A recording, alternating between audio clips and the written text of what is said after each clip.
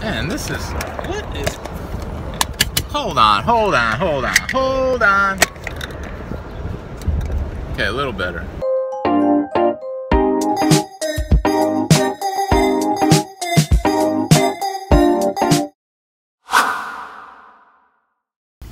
Buenos dias and happy Friday, everybody. As, man, this is, what is, hold on, hold on, hold on, hold on. Okay, a little better. As Bruce Buffer, the Octagon announcer says, it's time! It's time! For my haircut going to get a haircut. Finally, I've been trying to do this for like a week and a half. It is haircut time, especially on the sides. I'm gonna get that done. I'm gonna get a cut, and uh, that's where I'm headed to right now.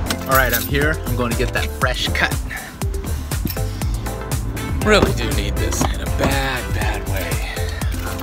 I know it's just a haircut, but sometimes I just feel like I don't have time for the haircut. That's why I don't come and get it. But now it's on, like Donkey Kong.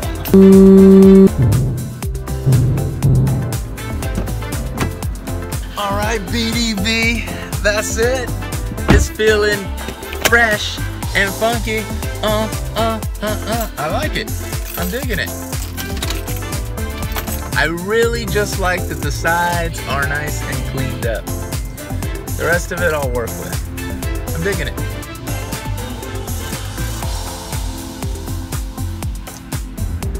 All right, guys, I have been detoured and I'm tasked with going to get some dinner for us, which is the norm on a Friday. I'm gonna go to Waba Grill.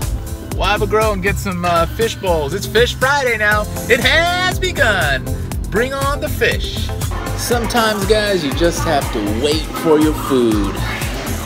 Three fish bowls. It's Fish Friday. We're doing it. I got salmon. The girls got shrimp. Gotta have the onions. I've got the goods, kids. I'm going home and we're gonna eat. Let's go, let's go. This is gonna be good. Oh, you know what? I had this today too for lunch. All right, it's all right. I don't mind having the Waba Grill. Fish Friday works. It works for Fish Friday, so I'm into it. Feeding the body for tomorrow's run. I'm so ready to go. Uh, pumped. I'm gonna try to get out. I'm gonna get after that under two hour mark. It's just, uh, it's gonna be nip and tuck there. Nip and tuck. See if we can get it tomorrow. See if we can get it. All right. Home, James. All right, so I got a little package in the mail today, and I pretty much know what it is. Um, I ordered the wrong size shirt a while back, and um, I got myself a different color, but I got the right size shirt. I like the color scheme. It's finally a large. Look at that, they got it right. But this time, boom, it's the hustle shirt. Look at that. Fully charged, baby, fully charged. I love it, love it. Hustle, it's what it's about. No matter what, whoa, whoa. No matter what you're doing in life, you gotta give it your best. And you always have to be hustling. Sometimes it doesn't feel good. Whether you, you need to lose some weight, you gotta work out, you gotta hustle, you gotta work hard. You wanna you want the promotion at work, you gotta hustle, you gotta work hard. You gotta be better than the next. At the most, you have to be at your best. And you have to do that every day. And you keep coming, you keep coming, you keep coming, good things will happen. All right, good, new shirt.